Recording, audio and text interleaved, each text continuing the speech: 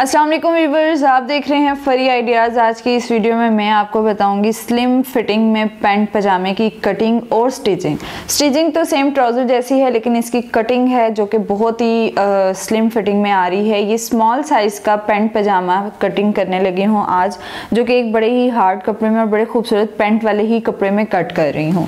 अच्छा पैंट पजामे ये जो लुक आएगी, इसको आप सिगरेट पजामा भी कह सकते हैं कैपरी की लुक भी कह सकते हैं, लेकिन इसकी जो शेप है, जो फिटिंग है, ये सारी पैंट पजामे वाली ही बनती है। बहुत ग्रेसफुल लगता है। सर्दियों में अगर आप लॉन्ग शर्ट के साथ वेयर करते हैं तो बहुत खूबसूरत लगेगा।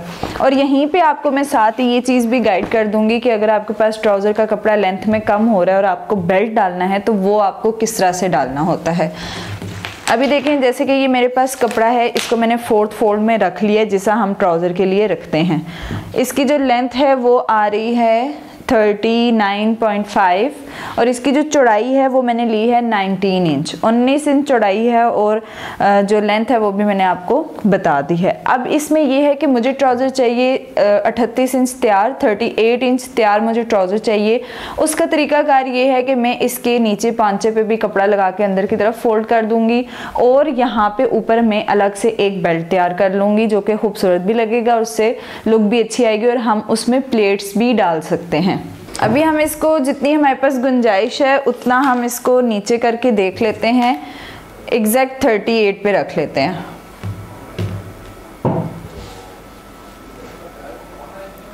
ये, हमने इसको 38 पे रख लिया। अभी आप ये देख सकते हैं कि बैक से ये थोड़ा सा मतलब हमारे पास बड़ा आ गया, लेकिन आपने इसको बड़ा ही रखना है। क्योंकि हमने जो बेल्ट होता है ना, वो इक्वल कटिंग करना होता है। जब हम बेल्ट को इक्वल जोड़ेंगे तो बैक हमारे पास ऑलरेडी बड़ी है। हम जब बेल्ट कटिंग करेंगे तो उसमें आपने बड़ा नहीं रखना है। उसमें फिर हम प्लेट्स डाल के उसको एडजस्ट करते हैं। आगे आप चलते हैं और हम देखते हैं। अभी इस पर मैं बेल्ट डाल रही हूँ, इसलिए जो हम ट्राउज़र के लिए यहाँ से ढाई इंच करते हैं, वो काम आपने नहीं करना। बस आपने डायरेक्ट इसको बराबर करना है और साइज़ लेने शुरू कर देने हैं। दस इंच ले रही हूँ मैं यहाँ से इसको। आसन भी हमने तैयार लेनी है, क्योंकि हमने ऊपर बेल्ट डालना है, उसकी हम गुंजाइश नहीं रखेंगे बीच में। आसन जो है, वो मैं यहाँ से ले रही हूँ साढ़े ग्यारह इंच साढ़े ग्यारह इंच में जब आधा इंच सिलाई लग जाएगी तो ग्यारह इंच रह जाएगा। ये बहुत स्लिम फिटिंग में है। इसी तरह अगर आपने बहुत स्लिम फिटिंग में अपना भी ट्राउज़र स्टिच करना होता है तो आप उसमें अपने साइज़ को कम कर दें। आसन के साइज़ को भी कम कर दें और बाकी भी फिटिंग वगैरह हर चीज़ कम करनी पड़ेगी आपको। अब यहाँ से जो मैं घेर का साइज़ ले रही हूँ, वो ले रही हूँ ग्यारह इंच। ग्यारह इंच को ही हम हाफ़ में ले लेते हैं। यहाँ से अब सारा कपड़ा आपने हाफ़ करना है। मतलब इसका दरमियान करना है।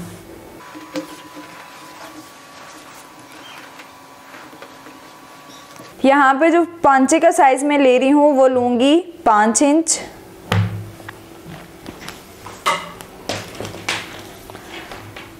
यहीं से हम ऊपर यहाँ पे नी का साइज़ ले लेते हैं।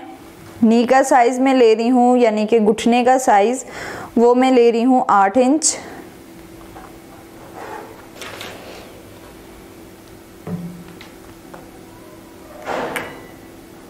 यहाँ से तो इक्वल ही जाएगी शेप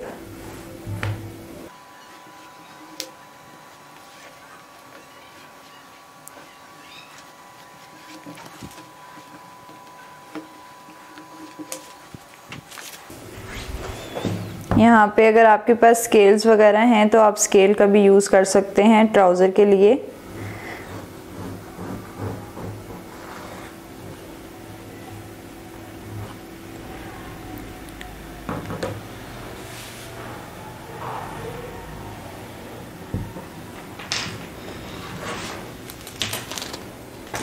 अभी हम फ्रंट की कटिंग कर लेते हैं।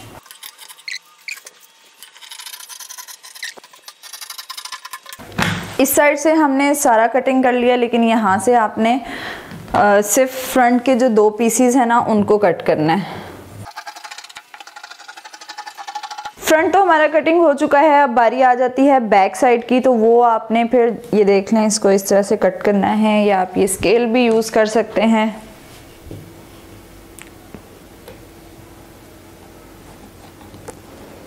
एक्चुअली स्टिचिंग में ज़्यादातर यूज़ होने वाला यही स्केल है। हर चीज़ में, आपकी शर्ट में, आपके ट्राउज़र में ज़्यादातर जो यूज़ है इस स्केल का है। बाकी भी यूज़ होते हैं, वो भी मैं आपको इनशाला बताऊँगी। अभी जो मैं यहाँ से रख रही हूँ, वो मैं ढाई इंच रखूँगी। आसन तक मैंने ढाई इंच रखना है। फिर उसके बाद दो इंच, फिर डेढ़ इंच आहिस्ता आहिस्ता आपने आहिस्ता आहिस्ता इसकी लुक चेंज करते करते पीछे हो जाना है। डेढ़ इंच डेढ़ इंच पर आपने आ जाना है। एक्चुअली ये जो दो इंच, डेढ़ इंच, ढाई इंच के जो निशानात है ना, ये आपके विथ सिलाइयों के साथ होते हैं। इनको हम सिलाइयों को भी बीच में एडजस्ट करके, क्योंकि ट्राउज़र के अंदर बिल्कुल गुंजाइश नहीं रखते। आपने देखा होगा, कभी आपने अच्छा ट्राउज़र स्टिच हुआ, अगर देखा हो या ख़रीदा हो, खाडी लाइम लाइट मतलब जितने भी बड़े बड़े ब्रांड्स हैं, अगर आपने उनके ट्राउज़र ख़रीदे होंगे तो आपको अंदाज़ा होगा कि उनके अंदर बिल्कुल बरए नाम कपड़ा भी नहीं होता। असल में ट्राउज़र की स्टिचिंग तभी खूबसूरत होती है कि जब आप उसके अंदर कोई किसी भी किस्म का फालतू कपड़ा नहीं छोड़ते। ये होगी इसकी कटिंग स्टिचिंग इसकी बिल्कुल सिंपल है, उसी ट्राउज़र की तरह ही है। तो फिर मैं इसको करूँगी स्टिच और फिर मैं आपको बताऊँगी। यहाँ पे हम कट कर लेते हैं इसका बेल्ट ट्राउज़र का साइज़ देख लेते हैं। ट्राउज़र का साइज़ हमारे पास आ रहा था। थर्टी एट मतलब तैयार आ रहा है। तो इसके ऊपर जो है, आपने दो इंच का बेल्ट डालना है। बेल्ट सिर्फ़ वो होगा जिसमें बस इलास्टिक डलेगी। बस हमने इलास्टिक का बेल्ट ही तैयार करना है। अभी सिर्फ़ मैं कपड़ा अलग करती हूँ, क्योंकि इस तरह से है कि जब हम स्टिचिंग करते हैं ट्राउज़र की तो आसन की और आसन की सिलाई लगाने के बाद हमने सिर्फ़ बेल्ट का कपड़ा अटैच करना होता है। उसके बाद हमें ये सिलाइयाँ लगानी पड़ती हैं और फिर हमें इलास्टिक डालनी है या सिंपल आपने फोल्ड करना है तो ये चीज़ें बाद में होती हैं। अभी मैं एक सीधा सा कपड़ा इसका निकाल लेती हूँ। कपड़ा मुझे चाहिए चार इंच का।